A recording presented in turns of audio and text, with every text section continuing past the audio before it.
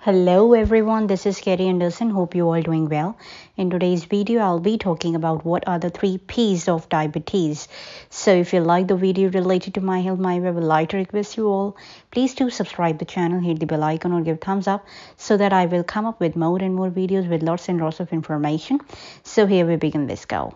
We all discussed the three P's in moral detail, explaining how they are diagnosed and treated as well as when you should see your doctor.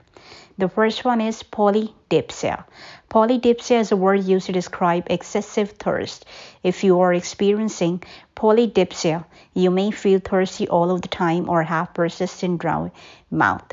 In people with diabetes, polydipsia is caused by increased blood glucose level. When blood glucose level get high, your kidneys produce more urine in an effort to remove the extra glucose from your body.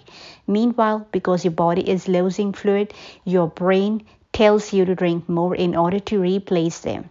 This leads to the feeling of intense thirst associated with diabetes.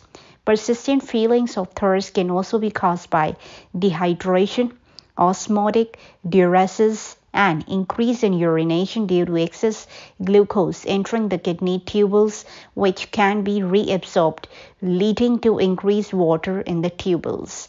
Mental health issues such as psychogenic polydipsia, polyuria. Polyuria is a term that used when you are passing more urine than normal. Most people produce about 1 to 2 liters of urine per day. 1 liter equal about 4 cups.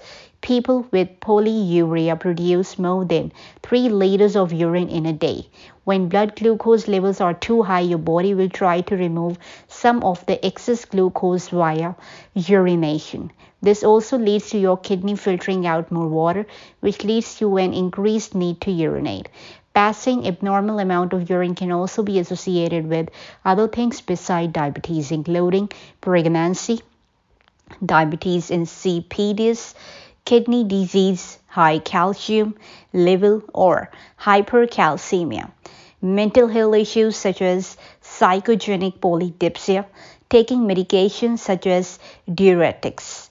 Now, third, it goes to polyphagia. Polyphagia describe excessive hunger, although we may all feel an increase in appetite in certain situations, such as after exercise or if we haven't eaten in a while. Sometimes it can be a sign of an underlying condition. In people with diabetes, glucose can't enter cells to be used for energy. This can be due to either low insulin level or insulin resistance.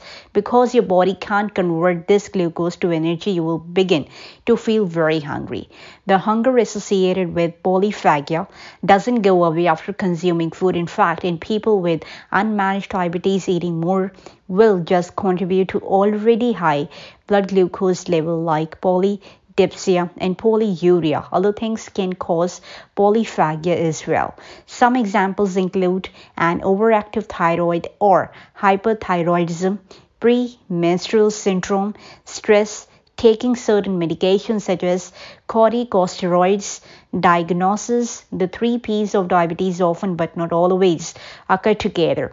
Additionally, they often develop more quickly in type 1 diabetes and more slowly in type 2 diabetes. Since the three P's are a good indicator that your blood glucose level may be higher than normal, your doctor can use them to help diagnose diabetes. However, other symptoms can also occur along with the three P's.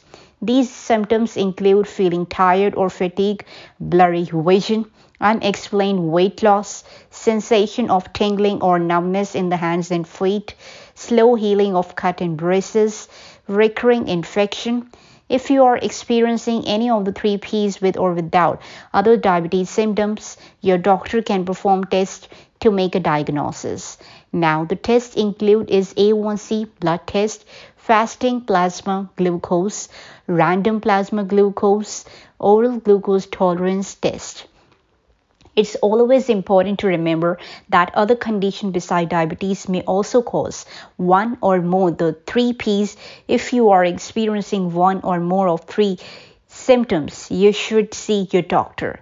Note about prediabetes. What about the three P's and pre-diabetes. Pre-diabetes is when your blood glucose level are higher than they should be, but not high enough to diagnose type 2 diabetes. If you have pre-diabetes, you likely won't experience clear signs or symptoms like the three P's because pre-diabetes can go undetected. It's important to get your blood glucose level tested regularly if you're at risk for type 2 diabetes. Now we'll talk about the treatment. In diabetes, the cause of the three P's is higher than normal blood glucose. As such, keeping blood glucose level managed can help to stop the three P's. For example, of ways to do this include taking medication for diabetes such as insulin or metformin, regular monitoring of things like blood glucose level, blood pressure, and cholesterol, following a healthy eating plan, being more physically active, following a diagnosis, your doctor will work with you to develop a treatment plan that's appropriate for your condition. In order to keep your diabetes symptoms managed, stick to this plan as much as possible. When to see a doctor, so, when should you make an appointment with your doctor to discuss one or more of the three P's? If you are experiencing an abnormal increase in thirst, urination, or appetite that lasts over a period of several days, you should see your doctor. This is particularly important if you are experiencing more than one of the three P's. Also, keep in mind that each of the three P's can occur individually as a symptom of condition other than diabetes if you are experiencing symptoms that are new, persistent, or concerning. You should always make an appointment with your doctor so that they can evaluate you. The bottom line is the three P's of diabetes are polydipsia, polyuria, and polyphagia. These terms correspond to increase in thirst, urination, and appetite, respectively. The three P's often but not always occur together. They are an indicator of higher than normal blood glucose level and are some of the most common symptoms of diabetes. If you are experiencing one or more of the three P's, you should make an appointment with your doctor to discuss your symptoms. So that's all about the three P's in the diabetes.